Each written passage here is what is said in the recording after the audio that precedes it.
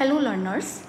So here is the series on multiple choice questions based on two topics that is semiconductors and PN junction diode. As these are the very basics of electronics engineering. So first of all I have taken these two topics. So let us move ahead and see what are the questions based on these topics. So semiconductor first of all we will be looking to the questions of this topic. So the first question is a semiconductor is formed by dash bonds.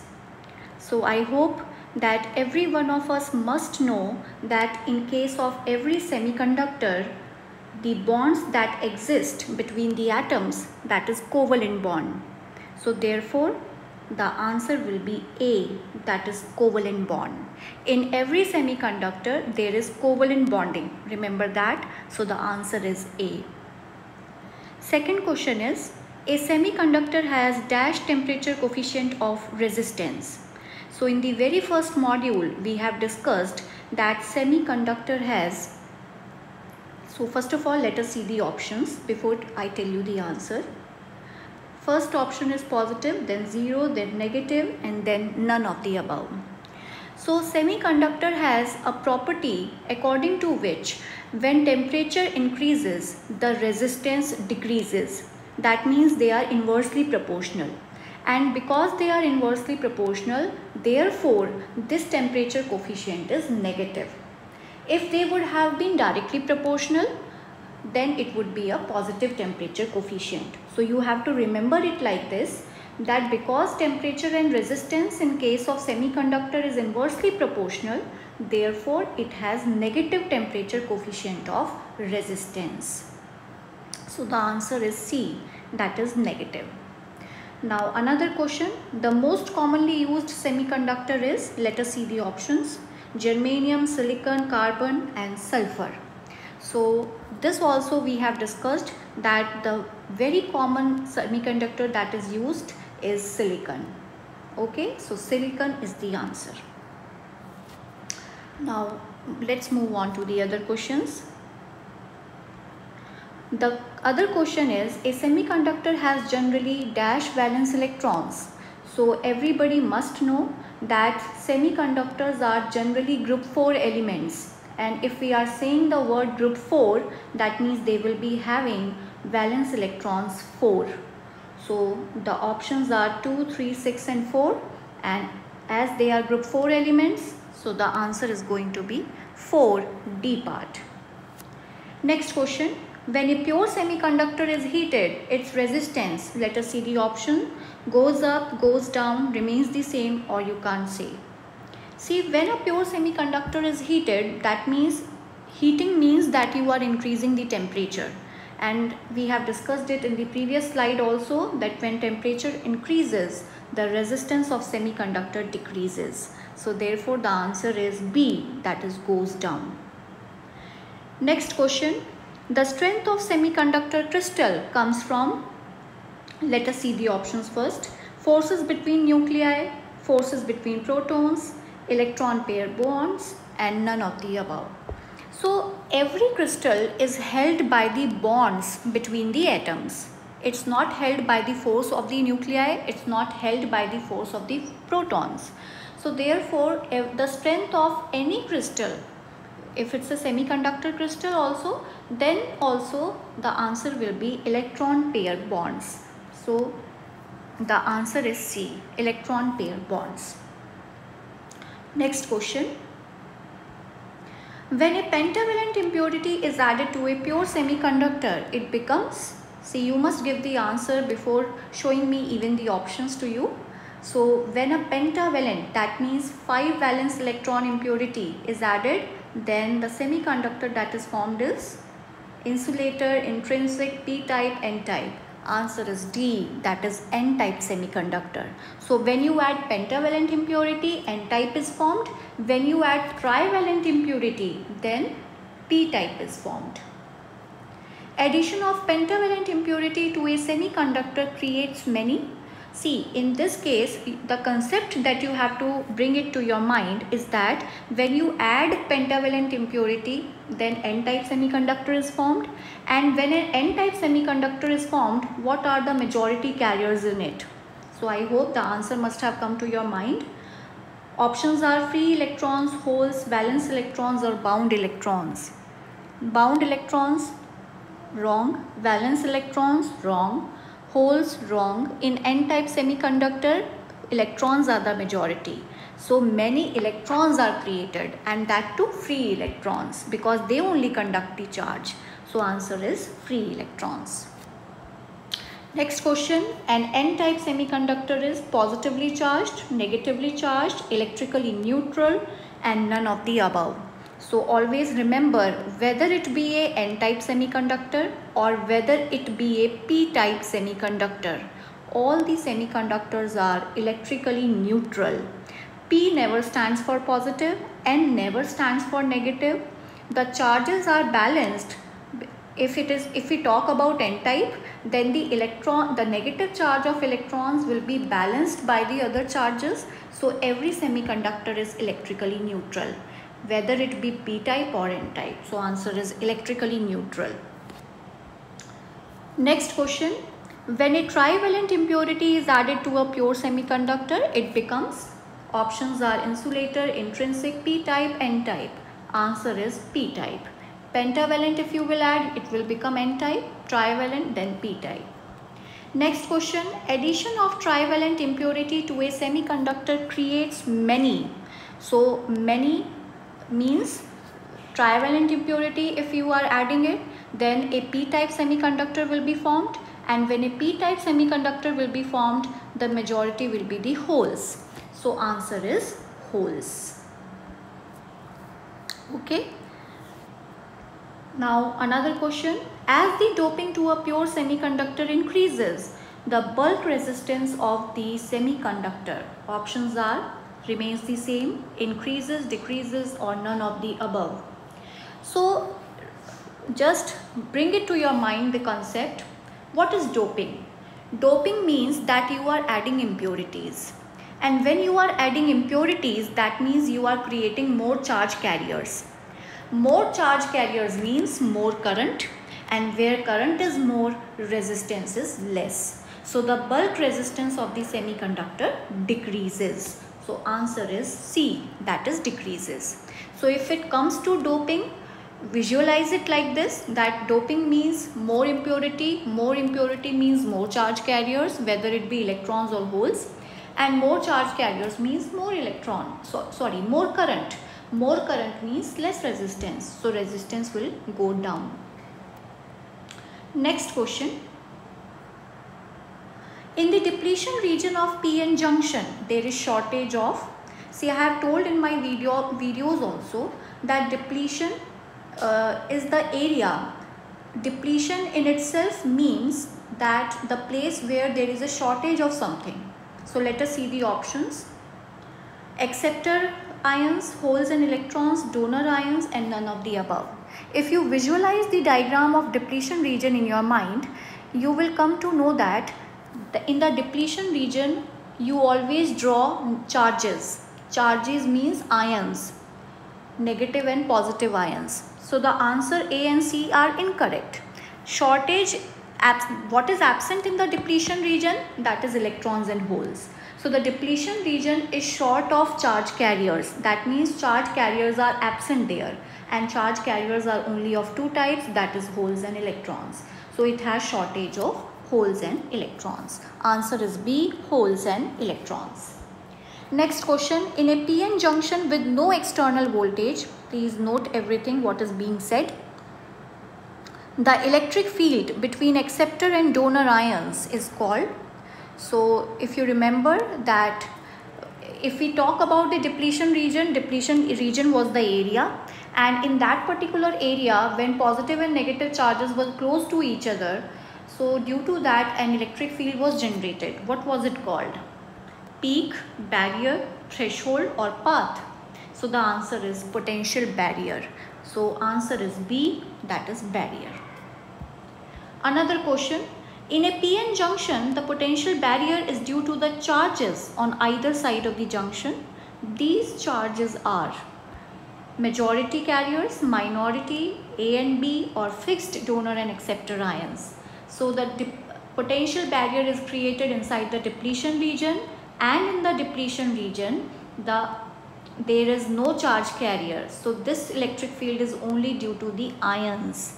That is so the answer is D that is fixed donor and acceptor ions. So I think the answer is hidden here.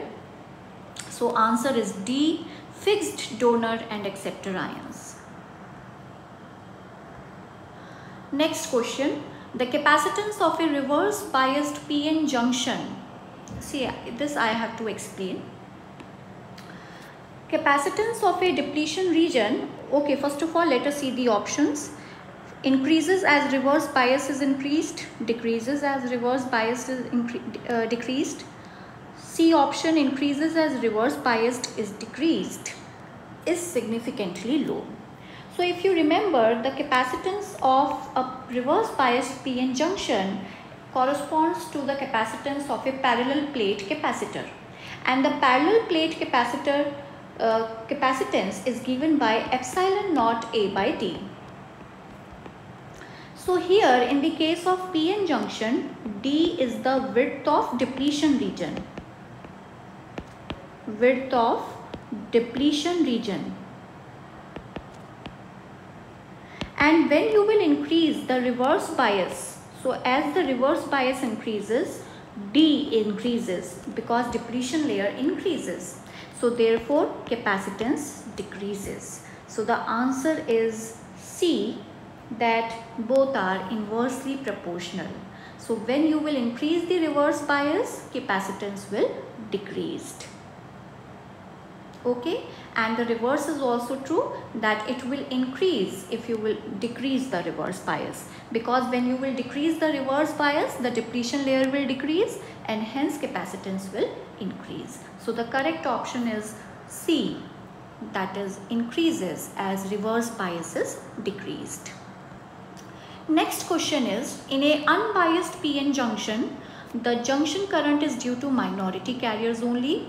Remember just look the question carefully. It is being written there that it is an unbiased PN junction. That means you haven't connected any battery over there. So the current is due to minority. The junction current at equilibrium. Okay first of all i hope you all can see it. Let me rub this part. Okay the junction at equilibrium is zero as equal but opposite carriers are crossing the junction so in the b option it is said that the current is zero then the junction current reduces with rise in temperature and the junction current at equilibrium is zero as the charges do not cross the junction. So which option is the correct one? The correct option is B. Why B? Because when you are not connecting any battery in a PN junction diode, first of all diffusion will take place in which the holes from P side will move to the N side and the electrons from the N side are moving to the P side. So the opposite carriers are crossing the junction. But the current is zero because the current that is created due to this diffusion due to the majority carriers. So the current that is created in this process of diffusion due to the majority carriers is equal and opposite to the current that is created by the minority carriers. Okay, so that is why this current is zero. So option is B that is it is 0 as equal but opposite carriers are crossing the junction. Then another question comes for a PN junction diode the current in reverse bias may be. So what is the reverse current uh, unit? You can all remember that. Let us look at the options. Few milliamperes between 0.2 and 15 ampere few amperes or few micro or nano amperes so i hope that every one of you must remember that the reverse current is very very low and if it is low so it must be having the lowest unit that is micro or nano amperes so the correct answer is d that is few micro or nano amperes now let's move on to the next question. When a PN junction is in forward bias, so just recall that when a PN junction is forward biased then what happens. So the options are so it is being asked that what happens by increasing the battery voltage. That means if you will increase the forward voltage then what will happen? Circuit resistance increases, current through PN junction increases, current through PN junction decreases, none of the above happens. So you have to remember that forward in the case of forward bias the resistance is low and the current is maximum. So when you are going to increase the uh, forward bias you must remember it recall you can recall it from the characteristic also. So the current will increase. So the answer is B.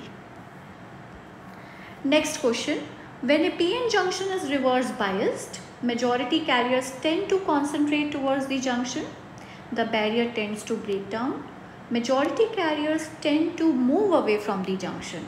None of the above. So if you have recalled the concept of reverse bias, you must remember that the depletion region is wide over there and resistance is very high, current is very low and this all happens because the battery is connected such that that the majority carriers they do not try to cross the junction in fact they tend away from the jun junction so the answer is C that is majority carriers tend to move away from the junction. Another question is in a PN junction when the applied voltage overcomes the dash potential the diode current is large which is known as option A depletion in the first fill in the blank depletion will be filled in the second negative bias then reverse and reverse bias resistance and reverse bias barrier and forward current so as you remember that the characteristic of diode in the forward bias was something like this. This was forward current, this was forward voltage. Okay, so this point was the knee voltage or you can say barrier potential. So the when it will cross the barrier potential, the current will rise. Diode current is large and this is called forward current. This current is called forward current. So it is option D. So the answer is going to be option D. Now next question. A PN junction is said to be forward biased when positive terminal of the battery is connected to P and negative to the N side. Junction is earthed. N side is connected directly to the P side and positive terminal of the battery is connected to N side and negative to P side. I hope everybody must know this answer. When you will connect P of the diode to the positive side of the battery and N of this diode to the negative terminal of the battery, then it is forward biased. So the answer is A. Next question, a PN junction has low resistance in forward as well as reverse directions has high resistance in forward as well as reverse directions, conducts in forward direction only, conducts in reverse direction only. So if you remember that the diode conducts in the forward direction, it behaves as a short circuit, it behaves as an open circuit in the reverse bias, that means current is zero in the reverse bias, so D option is wrong. Then it has high resistance in reverse bias, low resistance in forward bias. So option A and B are also wrong. So option C is the only correct one that is it conducts in the forward direction only. Next question is when the temperature of its extrinsic semiconductor is increased, the pronounced effect is on junction capacitance, minority carriers, majority carriers or none of the above. If you remember that temperature has a great effect on the reverse saturation current and reverse current is due to minority carriers. So as temperature increases, minority carriers increase and the reverse saturation current doubles its value. So therefore, temperature has the maximum effect on the minority carriers. So the answer is B, that is minority carriers. So I hope that you must have got an overview of the MCQs and for solving the MCQs you must know the concepts of semiconductor and PN junction diode. If something is not being clear to you then you can visit my videos then and understand the concepts. I hope that this will be helpful to you. Thank you all.